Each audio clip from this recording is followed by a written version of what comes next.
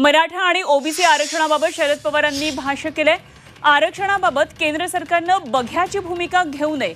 आरक्षणावर तोडगा काढण्यासाठी केंद्र सरकारनं पुढाकार घ्यावा. केंद्रानं पुढाकार घेऊन यावर सोल्युशन काढावं असं पवारांनी म्हटलंय. राज्य आणि केंद्र सरकारनं एका मर्यादेबाहेर आंदोलन जाणार नाही याची काळजी घ्यायला पाहिजे असंही पवार म्हणाले.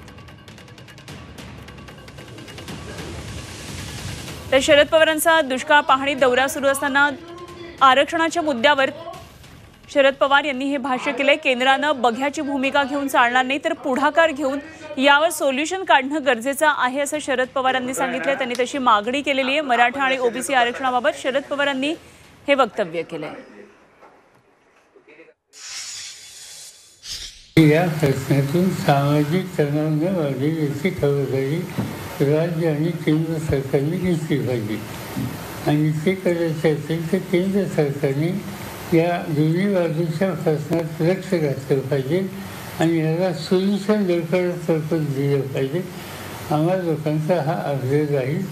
दिल्लीमध्ये पार्लमेंटमध्ये सुद्धा या संबंधीची भूमिका यापूर्वी मांडली होती सुप्रियांनी मांडली होती.